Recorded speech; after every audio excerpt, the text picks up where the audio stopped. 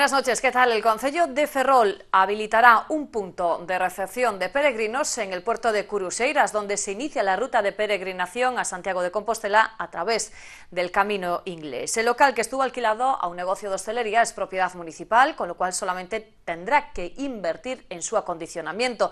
Ya prevé que los fondos para esa inversión procedan del Plan Urban. Además, a largo plazo, el Ejecutivo también piensa que en el barrio de Ferrol Bello se podría rehabilitar un inmueble de propiedad municipal y convertirlo en un albergue de peregrinos para potenciar así este tipo de turismo. Buenas noches, hoy es miércoles 23 de septiembre, iniciamos en Televisión de Ferrol el repaso de la actualidad informativa con otras noticias que también son protagonistas del día. El gobierno local se muestra firme en el proceso de peatonalizar más calles de la ciudad. Asegura que no rectificará el proyecto del cantón de Molins, manteniendo así el uso peatonal, y avanza que se prohibirá estacionar de nuevo en la Plaza del Carbón a partir de noviembre. La CIGA reclama que más de la mitad de los petroleros contratados por Ondimar se hagan en el astillero de Navantiafene. El sindicato considera compatible la construcción de buques con proyectos de la eólica marina.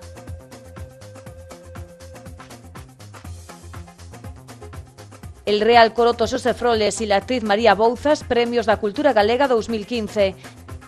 Desde el decano de los coros muestran su satisfacción por este reconocimiento que le llega cuando ha cumplido los 100 años.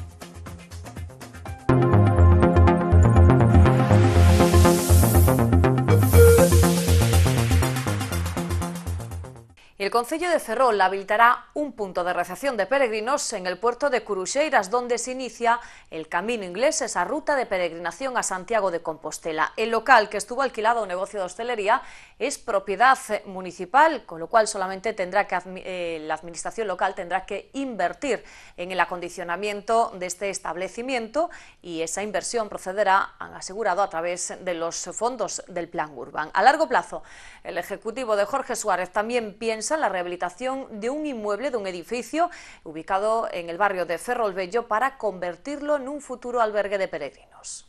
Ferrol quiere aprovechar que es el inicio del camino inglés para potenciar este tipo de turismo, el de peregrinación, que tan de moda está desde la década de los 90. Por eso el gobierno de Jorge Suárez, a través de la Concejalía de Patrimonio, ha avanzado que habilitará un local en el puerto de Curuxeiras para convertirlo en el centro de recepción y atención a los peregrinos. Se trata de un bajo, propiedad ya municipal, que antes estaba alquilado a un negocio de hostelería. La concejala de Patrimonio, Rosa Méndez, confirmó que el proyecto de acondicionamiento todavía sin cuantificar será sufragado con fondos del Urban y su plazo de ejecución será de seis meses. El Ejecutivo está pendiente también de que se pueda abrir a lo largo de las próximas semanas la calle Carmen Curuxeiras, cerrada por el desplome de una vivienda, y recuperar así la ruta original de peregrinación. Primeiro, abrir o camiño, é dicir, manter o traxecto original. Eso eh, xa comento, a Concelleira de Urbanismo, en breve, ese vai estar feito. Segundo, un lugar axeitado de recebemento dos camiñantes, o que sería a aportado camiño en Ferrol. Eso tamén o temos eh, xa definido. Ese local eh, estará na, na fachada marítima do Porto, na parte baixa do que do que é a Asociación de, de Veciños, donde antes estaba un, un, local, un local de hostelería, A esta iniciativa se sumará tamén la habilitación dun albergue para peregrinos en un edificio de titularidade municipal todavía sin concretar en Ferrolbello, un proxecto a largo plazo. O albergue de peregrinos, lógicamente, non vámoslo facer nin mañán, nin pasado, nin nin posiblemente dentro de seis meses, pero sí temos o proxecto para saber onde ten que estar o albergue de peregrinos. Non?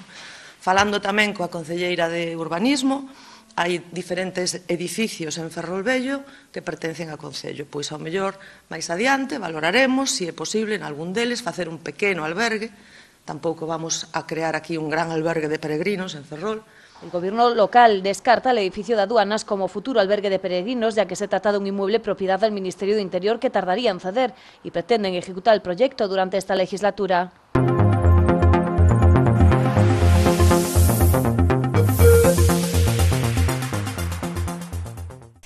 Ferrol también pedirá fondos europeos para poner en marcha el proyecto de la memoria histórica en la antigua cárcel ubicada en el Castillo de San Felipe, una fortificación que está declarada como como bien de interés cultural. Así lo ha avanzado en la jornada de hoy la concejala de Patrimonio Histórico. También se ha concretado que en la Cuesta de Mella, en esas instalaciones rehabilitadas eh, cuyo proyecto se ejecutó durante el anterior mandato, se van a condicionar para crear un museo de la ciudad.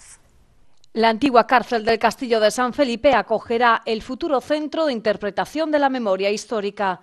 El Gobierno local, a través de la Concejalía de Patrimonio, estudia solicitar fondos europeos para llevar a cabo este proyecto, ya que la fortaleza está catalogada como BIC, bien de interés cultural, y cuenta con ayudas para desarrollar iniciativas que tengan como objetivo dinamizar la fortificación construida en el siglo XVI. San Felipe, por lo tanto, se va a buscar unha ubicación eh, al lado das celdas e eh, con saída ao muro que foi o paredón. Eh, sen dúbida é un lugar de recoñecemento da memoria histórica e das vítimas eh, do franquismo. Sestallo avanzou además que el goberno local hará institucional el homenaje todos los años que se realiza en el Castillo de San Felipe a Amada García, una joven mugardesa militante comunista que fue fusilada luego de tener a su hijo en esta fortificación durante la Segunda República Española. Dentro do que vai ser un museo da, da cidade no que está a traballar Rosa, no que está a traballar eh, cultura, no que está a traballar urbanismo, turismo, bueno, eh, o que que quere eh, que vai a ser un centro de interpretación de toda a cidade que será compatible, obviamente, tamén eh, con episodios da historia da cidade, de toda a historia da cidade, e, polo tanto, eh, bueno, pois, eh, digamos que será un contido máis amplio El Ejecutivo local también avanza en el proyecto del Museo de la Ciudad que se habilitará en la rehabilitada Cuesta de Mellá. Presten atención a este dato, el 68% del espacio público de la ciudad de Ferrol está ocupado por los vehículos. El gobierno local se muestra firme en su apuesta de seguir avanzando en el proceso de peatonalización de la ciudad de Ferrol, así que no va a rectificar el proyecto del cantón de Molins y se mantendrá la zona peatonalizada a pesar de las críticas y de las quejas de comerciantes, hosteleros y de vecinos de la zona. También se va a prohibir a partir del próximo mes de noviembre el estacionamiento en la Alameda del. El gobierno local se muestra firme a la hora de hablar de la peatonalización en la ciudad. Desde la Concejalía de Urbanismo han recordado que existe un proyecto de movilidad de hace ya dos legislaturas que contempla la peatonalización de más zonas en el centro y que lo van a ejecutar. La concejala de esta área, María Fernández Lemos, ratificó una vez más que la Alameda del Cantón seguirá siendo peatonal tal y como recoge el proyecto ejecutado en su primera fase. Fernández Lemos criticó que los comerciantes, hosteleros y residentes de la zona no le hayan dado seis meses para ver si la peatonalización funciona. No es cuestionable que esa zona, por eh, intereses particulares, tenga que abrirse al público ni al tráfico, porque genera disfunciones dentro de la ciudad y porque nosotros vamos hacia un modelo de ciudad que es otro completamente diferente, que es un, mo un modelo de movilidad y de equilibrio. La concejala de urbanismo reveló que según los estudios de los que dispone la administración local, el 68% del espacio público está ocupado en la ciudad por vehículos privados y sus desplazamientos son un 35% de los totales, cuando los de los peatones alcanzan el 59%, pero el espacio reservado para ellos es tan solo de un 32%. En esta línea, Fernández Lemos avanzó que cuando finalicen las obras de saneamiento, en la Alameda del Carbón se prohibirá de nuevo estacionar. Además, esa apertura como aparcamiento se realizó en un momento en el que las obras obligaron a abrirla otra vez, porque ya hacía tiempo que se había retirado el aparcamiento de allí.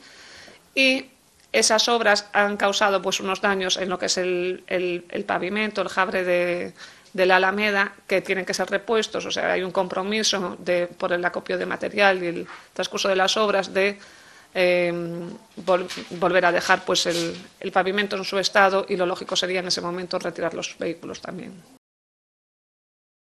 El Gobierno local urge a la Junta de Galicia la redacción y puesta en marcha de un plan director para el complejo hospitalario universitario de Ferrol que atiende a más de 200.000 vecinos de nuestra comarca.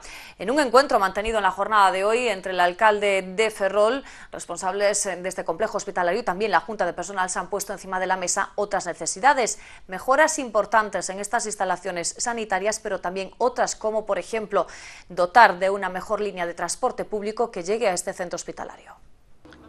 El complejo hospitalario universitario de Ferrol atiende a más de 200.000 vecinos de nuestra comarca y cuenta con 2.400 trabajadores.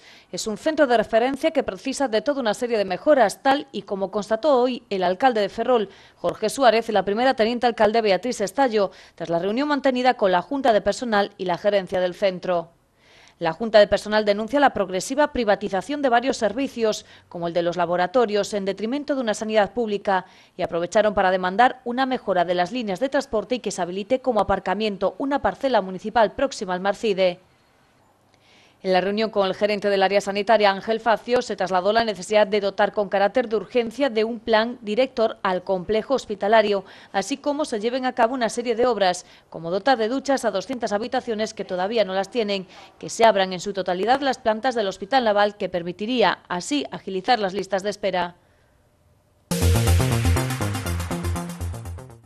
La consellera de Trabajo y de Benestar eh, Social, Beatriz Mato, destacó en la jornada de hoy el importante trabajo que realizan los bancos de alimentos en nuestra comunidad autónoma. De hecho, durante este verano los bancos de alimentos repartieron 23.000 kilos de comida en 20 ayuntamientos de Galicia para beneficiar a más de, eh, a más de 150 familias. Beatriz Mato recordó que la Junta de Galicia tiene un convenio con los bancos de alimentos que en este año se va a incrementar hasta los 60.000 euros para poder seguir ayudando a las familias que más lo necesitan en estos momentos.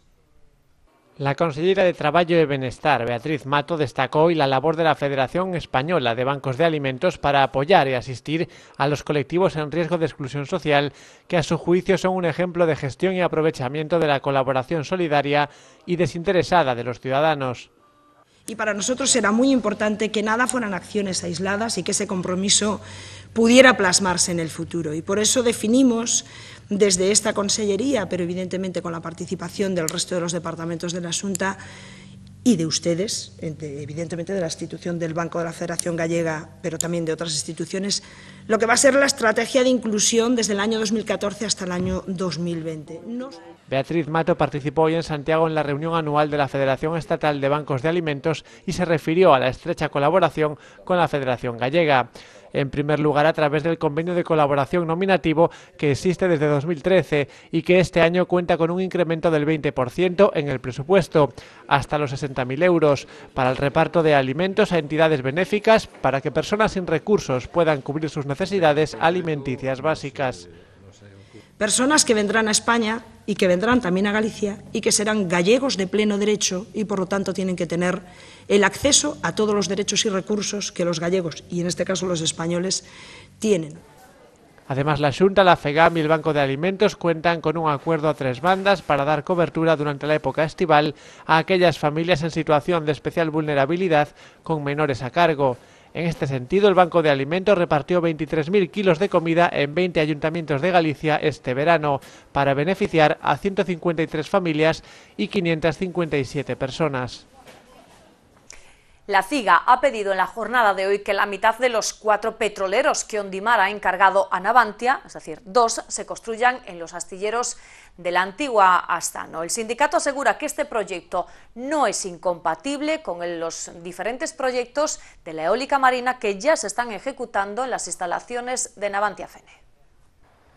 El sindicato de la CIGA ha pedido hoy un reparto equitativo y justo de la carga de trabajo y la vuelta a la construcción naval civil en el astillero de Navantia Fene, donde la central considera que de facto todavía se está padeciendo el veto que de forma oficial terminaba el pasado 31 de diciembre.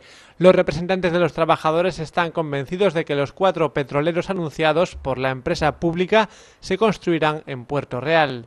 A ver, dende, dende o momento que a dirección de Navantia pues, anunciou en xullo pois que eh, habían contratado, non? que se lle habían adxudicado pois, a construcción deses catro petroleros con opción a outros dous máis por parte da empresa Ondimar, eh? pois nos reclamamos dende aquela pois que a metade deses petroleros se fagan nas gradas de Fene.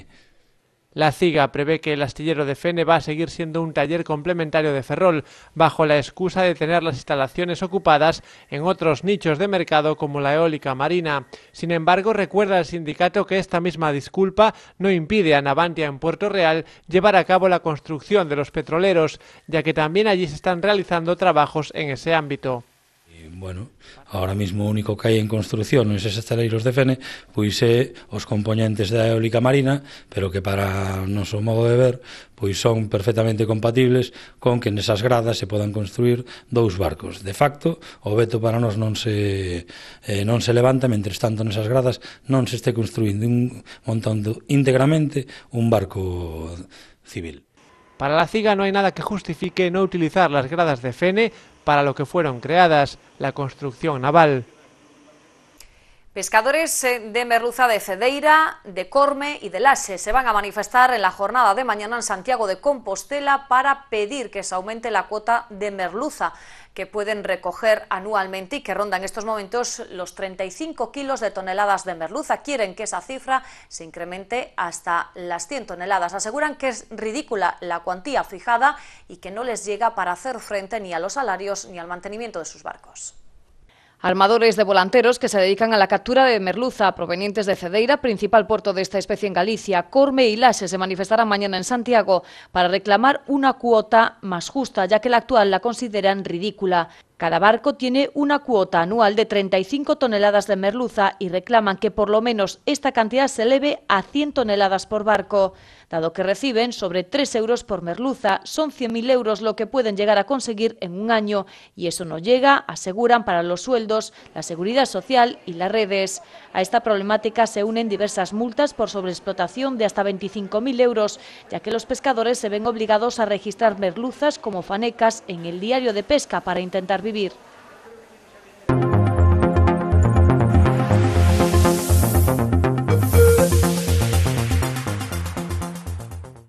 El alcalde de Mugardos, el popular Domingo de Deus, asegura que en estos primeros 100 días de mandato el Concello de Mugardos ha vuelto más transparente y se ha convertido en la casa de todos. El regidor destaca la modernización que se ha llevado a cabo durante estas semanas y lamenta que el presupuesto ya esté agotado a un 80% antes de finalizar este año.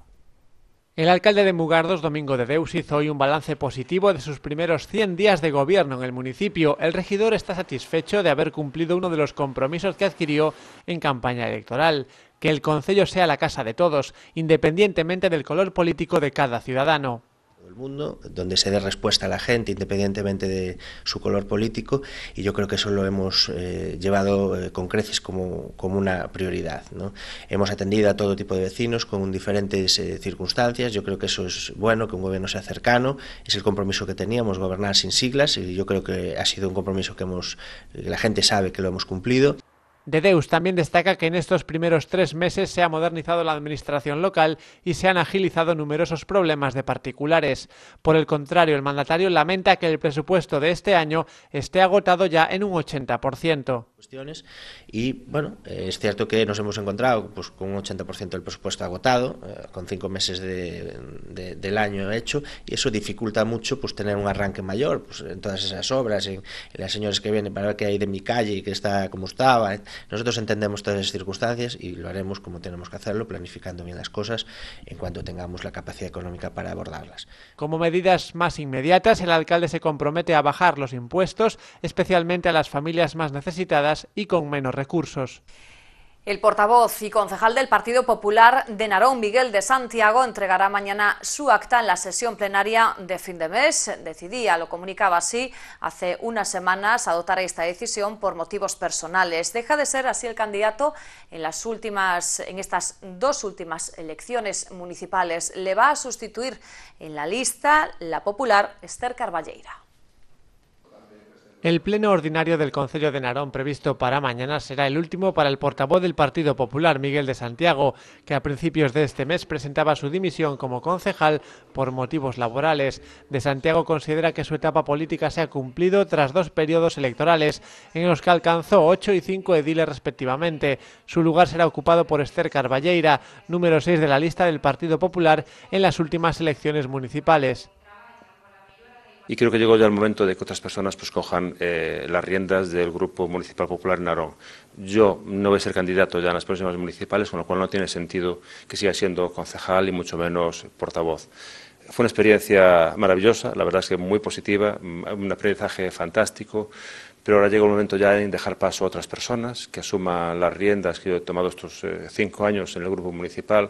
El concejal quiso agradecer el esfuerzo y el trabajo de su equipo durante el último mandato, así como el apoyo recibido hasta la fecha por los dirigentes populares y por los vecinos de Narón. Ha habido temas en los que hemos sido muy beligerantes, mucho, como es el tema del saneamiento, que nos parece que todavía es una eh, tarea pendiente y que Narón debe ser más claro en, apoyando el saneamiento.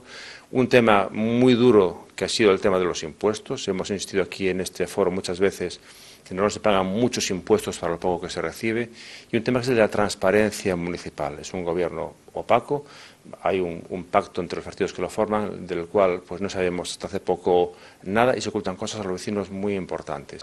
Miguel de Santiago seguirá afiliado al Partido Popular y asesorará a su grupo cuando éste se lo solicite.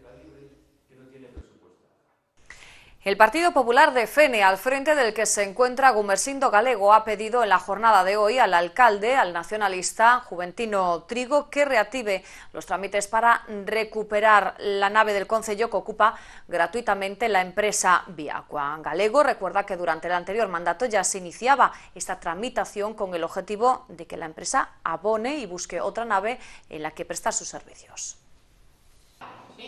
El portavoz del Grupo Municipal del PP en Fene, Gumersindo Galego, instó esta mañana al alcalde Juventino Trigo a continuar con los trámites necesarios para recuperar la nave del Concello de la que disfruta gratuitamente Viacua, concesionaria del servicio del agua.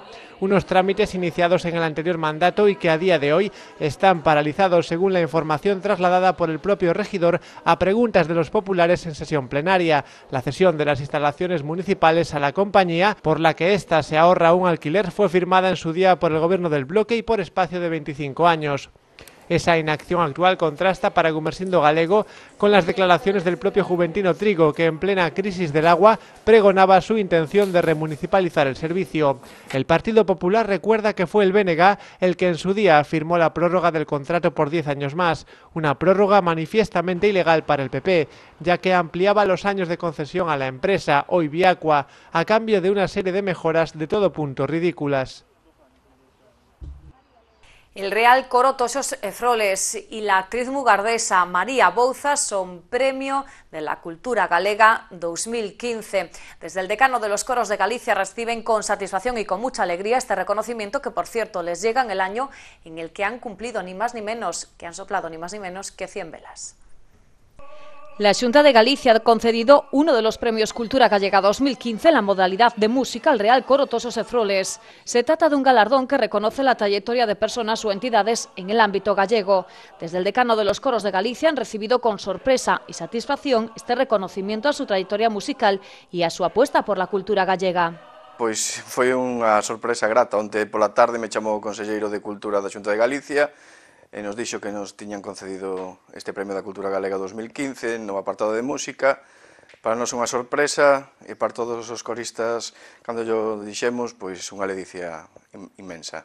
El reconocimiento de la Xunta de Galicia le llega al Toxos en el año en el que celebra su centenario y que ha aprovechado para organizar toda una serie de actividades, desde la publicación de un disco hasta la organización de diferentes actuaciones y conciertos en la ciudad, que se completarán los próximos meses con talleres de baile y música nos quedan tres actos que vamos realizar no, no, no Toxos, un obradoiro de baile tradicional impartido por Quique Peón en, en outubro, o Congreso de Música Tradicional que se celebrará o último sábado de outubro tamén, no que estarán presentes todos os coros históricos, os novos coros e Javier Jurado Luque e outro obradoiro de, de gaita galega que impartirá Suso Bamonde.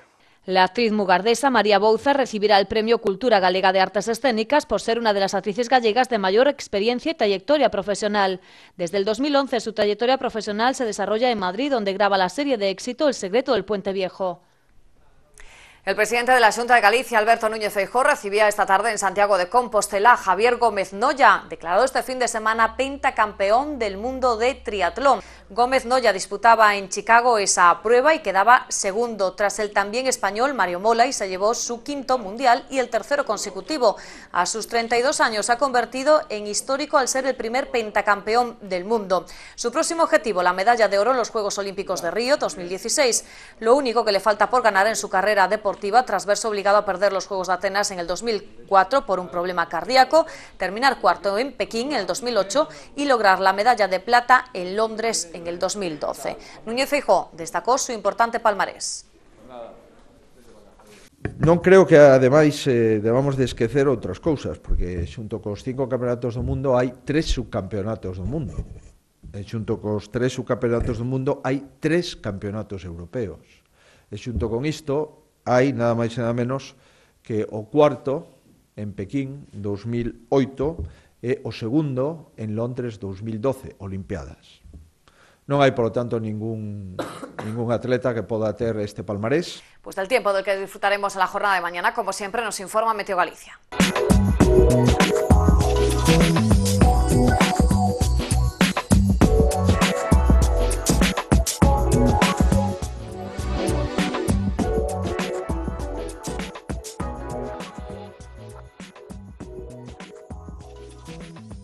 Por la mañana en Galicia se esperan nubes bajas y nieblas en la mitad norte.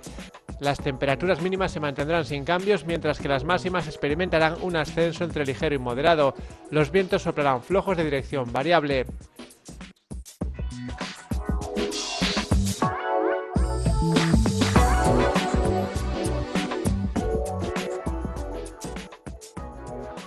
Ferrol tendremos algunas nubes por la mañana y una tarde de cielos despejados. Temperaturas entre los 12 y los 21 grados y viento flojo del norte.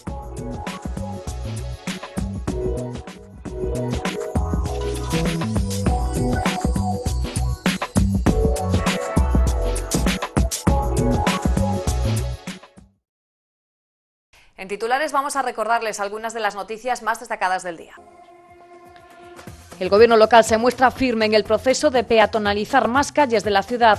Asegura que no rectificará el proyecto del cantón de Molins, manteniendo así el uso peatonal, y avanza que se prohibirá estacionar de nuevo en la Plaza del Carbón a partir de noviembre.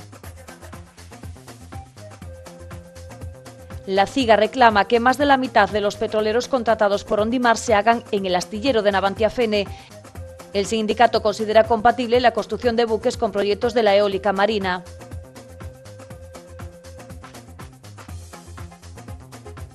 El Real Coroto Sosefroles y la actriz María Bouzas, Premios da Cultura Galega 2015. Desde el decano de los coros muestran su satisfacción por este reconocimiento que le llega cuando ha cumplido los 100 años.